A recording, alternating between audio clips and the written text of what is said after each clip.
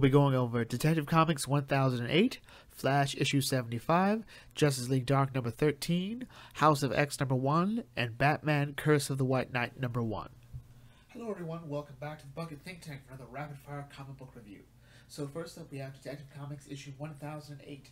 So, I was a bit harsh on the previous story of Detective Comics with the Spectre because the problem I had with the Spectre coming to Gotham City was all these arsonists, rapists, you know, um, murderers, psychopaths in Gotham City, and God's vengeance has apparently been there the whole time, and has done nothing. You know, why?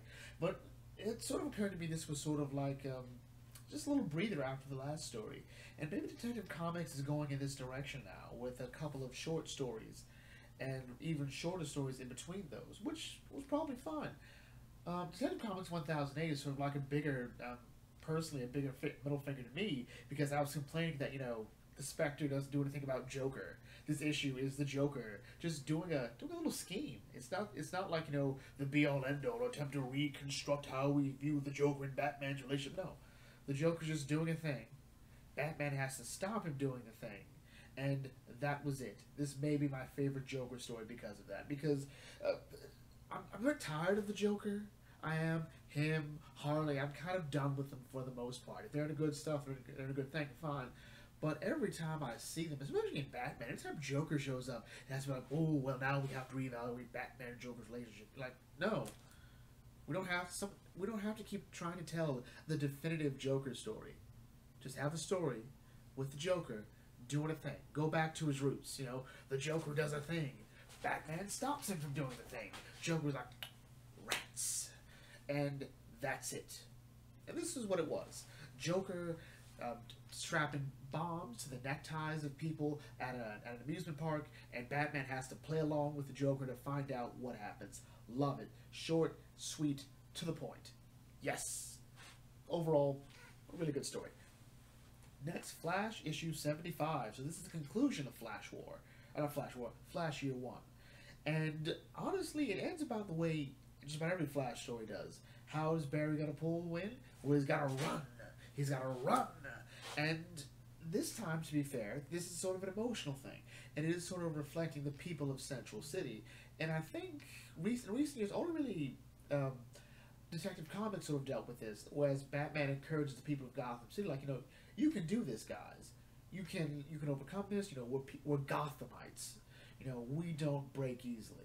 And Central City is a bit different, where I think Gotham likes to be tested. Gotham, like, you know, we can deal with it, and it's not going to break us. Central City sort of seems like, you know, we pull together at that moment.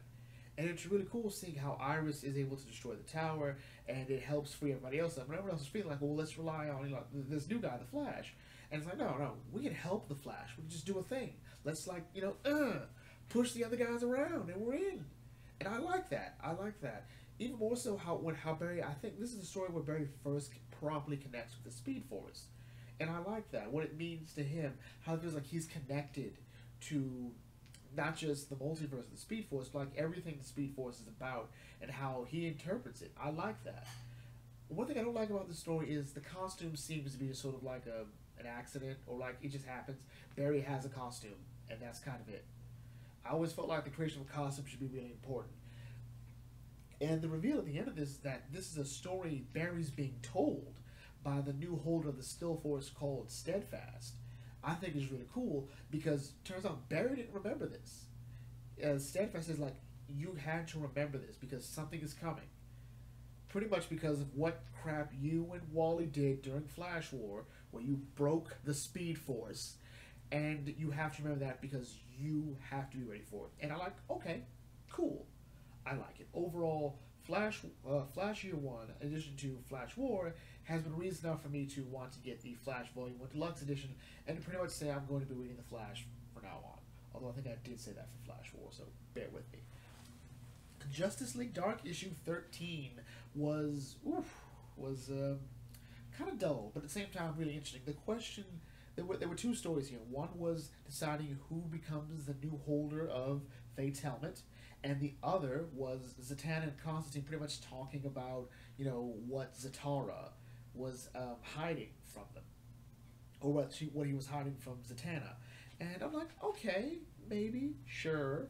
Um, that didn't interest me as much as the stuff at the beginning with who will become the new holder of Fate's helmet, who will become the new Doctor Fate, and of course we have two um, two candidates, and one is Kent Nelson, the original holder of the helmet, the original Doctor Fate. He's like, I don't want to do it. No, that helmet messed me up. Even before this, it caused problems. Look, I don't want to do it. My boy Khalid. I'm like, come on, come on, guys. I'm begging you, make Khalid Nassour the new Doctor Fate. Come on, like his book was pretty unremarkable. He deserves better than that. He's a great choice. He's like, I don't think I'm ready yet, and give it a couple years, and that might mean he's never going to be Doctor Fate. I just think he's the best choice. But they've resolved to stay pretty much on the team as magical consultants. I mean, they've read the scrolls of Merlin. They know magic without the helmet, so yeah, why not? Where's Khalid's family? That's my question now. Uh, granted, Khalid is um, Kent Nelson's great nephew, so whatever. Um, the stuff with Constantine and Zatanna was pretty forgettable. It sort of just does what they always do with their relationship. You know, Zatanna's like, you know, you're to help me do this thing, and then I'm ne- I never want to see you again. And yeah, that's what they always do. It's kind of irritating at this point. But overall, uh, this was a really solid issue, really nice. Take a deep breath. It was all done. It was awesome. And now we're to go towards the future. Next was House of X issue 1. So I love Jonathan Hickman's work. I loved his work on the Fantastic Four. I loved his work on the Avengers. I actually haven't read all of his work with the Avengers because it's a, it's a lot. I like Secret Wars. I also liked um, what was it, Incursion, and Infinity. I, I love what I can get through of Infinity. Infinity is heavy stuff. Hickman is a big picture kind of guy, and it's a shame DC couldn't get him. But anyway, his House of X book, this first issue, was I think pretty promising. It turns out um, the mutants are now having their own nation, and they want the world nations, the UN, to pretty much acknowledge them in exchange for a bunch of other medical um, medical advances. Like a, there's a pill that will extend your life of five years. I'm like, okay, that's good. Um, this is pretty much seeing exactly what happens when Professor X decides to do this. Um, I'm not an expert on Genosha, but I think that was pretty much a, a Magneto plan for the most part. I could be wrong. I could legitimately be wrong. I didn't really read that. But what this book really did was sort of show you the, the new status quo of the mutant world. You know, um, Jean Grey is back as Ms. Marvel, Cyclops is back, Wolverine is there, Storm is there, and everyone, every mutant is invited to this, to Croca, Crayoka, I think it's Croca. And Charles has gone the extra mile of creating a new language for the mutants that he has telepathically inserted into all their brains. As Magneto points out, who is Charles' ambassador to this, is saying this is how a culture begins with language, with words, with its own letters. I'm like, okay, cool. And the UN or the world leaders have a reason to be concerned because how Charles plans to recruit more people, rather get more people with his new portable Cerebro helmet. Love that thing. Is that this new dimension, a nation wherever he is, he can reach people wherever they are. He pretty much can boom tube or just sort of teleport wherever. And where Magneto says this is an amazing way to get refugees, as the as the world leaders point out, this is also a great way for you to deploy troops. All right, I'm not saying you plan to do that, but this will totally redefine war as we know it, and that's true. Overall, where House of X will go in the future from this one issue, we don't quite know, but we are seeing that it is a project that everyone is invested in, and it's going to be nice to see what Hickman's seven-year plan for the X Men is going to be. Strap yourselves in, kid. Hickman's back in town. And finally, we have Batman: Curse of the White Knight. So this is a continuation of Sean Murphy's uh, previous story, Batman White Knight, where the most simple ideas, what if someone gave Joker his medicine? Created one of the most interesting stories and possibly one of my favorite Joker stories. Uh, please take into account what I said earlier about the Joker in my Detective Comics 1008 video. Yeah. So this story deals with, I'm not quite sure if they mentioned how much time has passed since the events of Batman White Knight but it is clear that Gotham City is actually trying to change for the better. Um, Arkham Asylum is being rebuilt, but Joker still escapes from it, and he's apparently really mad at what Sane Joker, aka Jack Napier, did to Gotham City, hence make it better. And he's he's he's determined to reveal this one big secret, this one secret he knows that apparently goes back to the very foundation of Gotham City itself. So that's interesting, and I'm looking forward to seeing how that plays off. The secret being that Jean Paul Valley, who in this in this story is a quote unquote retired army soldier, is descended from the actual founder of Gotham City, and it's implied that um, Edmund Wayne, the first Wayne to come to Gotham City, uh, usurped power from from Jean Paul's ancestor. So that's interesting. On Bruce's standpoint, it seems he's very set on publicly revealing that he is Batman.